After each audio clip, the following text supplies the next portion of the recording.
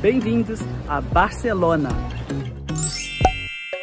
Neste vídeo eu vou te mostrar 7 pontos turísticos imperdíveis para se conhecer em Barcelona em um dia. E o melhor de tudo, totalmente grátis. Esse é o segundo vídeo do especial de férias aqui do canal. O primeiro foi gravado lá em Portugal, onde eu contei tudo sobre passagens aéreas, transporte, chip de telefone, tax free e muito mais. Confira lá depois. Nossa primeira parada foi na Igreja da Sagrada Família, que começou a ser construída em 1882, mas ainda não está pronta. A expectativa é de que as obras sejam oficialmente finalizadas somente em 2026, que é o ano do centenário da morte de Antoni Gaudí, famoso arquiteto espanhol e figura de ponta no modernismo catalão. As obras de Gaudí revelam um estilo único e individual, e estão em sua maioria na cidade de Barcelona.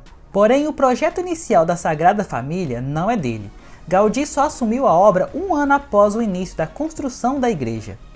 Quanto mais a gente se afasta da igreja, mais bonita ela fica, porque a gente começa a ter noção da dimensão, da grandeza que ela é.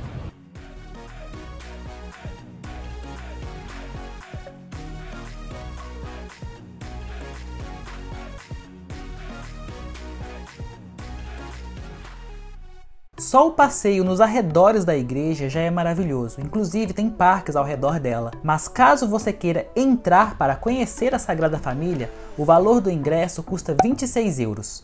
Eu vou deixar umas imagens do interior da igreja para vocês verem se vale a pena ou não entrar.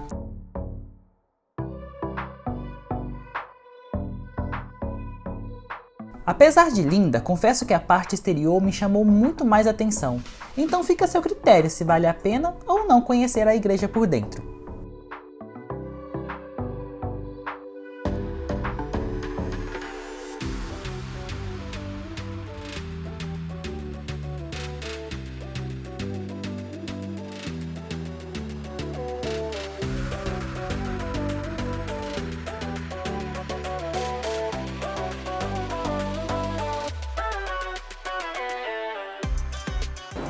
Para mim é uma satisfação muito grande estar aqui hoje, porque para quem não sabe, eu fiz engenharia civil e a Igreja da Sagrada Família foi o meu primeiro trabalho no curso de Introdução à Engenharia Civil.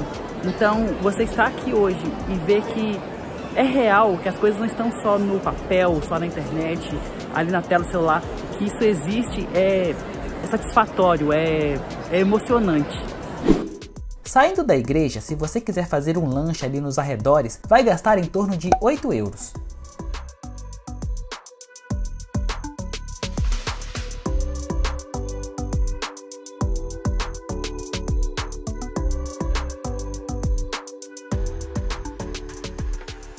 Um dos pontos turísticos mais famosos de Barcelona, sem sombra de dúvidas, são a Casa Milá e a Casa Baió. No caminho até elas, um bom lugar para tirar fotos é a charmosa Casa Terades, que fica cerca de 13 minutos partindo da Igreja da Sagrada Família. Apesar de ser do século XX, a obra foi inspirada no estilo gótico medieval e no alto das suas fachadas é possível ver vários painéis de cerâmicas com mensagens enaltecendo a cultura catalã. Com seis minutinhos de caminhada, chegamos na famosa Casa Milá, ou La Pedreira. A construção desse prédio começou em 1906 e foi concluída quatro anos depois. Toda a fachada da La Pedreira foi feita de pedra natural, enquanto a borda superior do edifício é revestida de azulejos brancos. Esta combinação evoca a imagem de uma montanha coberta de neve. A La Pedreira foi o último projeto antes de Antoni Gaudí decidir focar somente na Igreja da Sagrada Família. Fachada da Casa Baiô traz elementos que simbolizam crânios e ossos. Há quem diga que eles também representam máscaras de carnaval. Ô mãe. Oi. Já percebeu que volta e meia passa um fedendo? Oh, sempre. é, não dá pra saber se é turista ou se é os moradores. Você é nós, né, mãe? Você é nós também, né, Matheus? Rodando o dia inteiro. Não, o meu tá, tá ok. Não, não, não. Ok, ok. Ok, brasileiros ok. Todos os pontos turísticos mostrados neste vídeo ficam relativamente perto um do outro. Dá para você fazer todo esse caminho a pé, para curtir a paisagem. Eu vou deixar na descrição um mapa com todos os locais que visitei e curiosidades sobre cada um deles. Clica lá depois e confira. é de graça. Lembrando que se você quiser entrar nesses locais, aí sim você vai ter que pagar. Mas se você está com pressa, como foi o meu caso, vale muito a pena conhecer esses lugares, mesmo que seja apenas do lado de fora, porque a riqueza de detalhe dessas construções é impressionante. Acredita no que eu estou falando, vale muito a pena nem que seja passar somente para ver. Um outro lugar incrível é a Praça da Catalunha, a maior praça de Barcelona.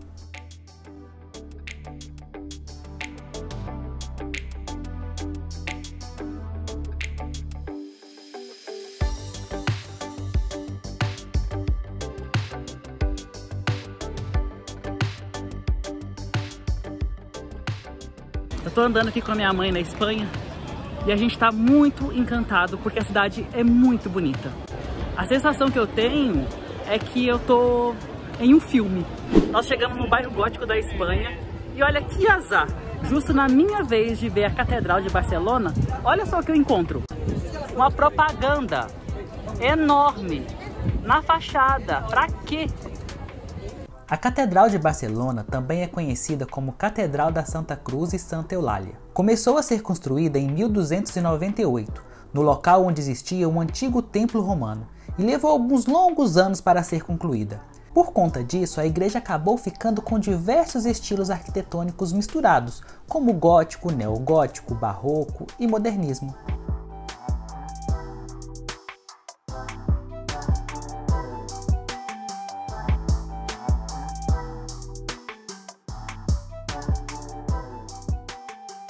Chegamos no famoso bairro Gótico, a região mais antiga e uma das mais bonitas de Barcelona. Andar pelas ruas do bairro Gótico dá aquela sensação que a gente está realmente vivendo um filme medieval.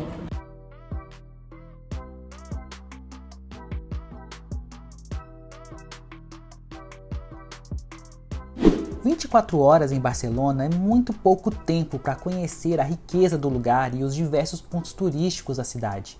Mas apesar de rápida, essa viagem me marcou demais. Eu adoraria ter mais tempo, mas infelizmente ficará para uma próxima oportunidade. Então, se esse vídeo foi útil para você, não esqueça de deixar o seu like e um comentário dizendo o que você achou dos lugares, dos pontos turísticos principais e etc. Aproveite também para compartilhar esse vídeo com quem você achar que irá gostar. vou ficando por aqui, um forte abraço e até a próxima!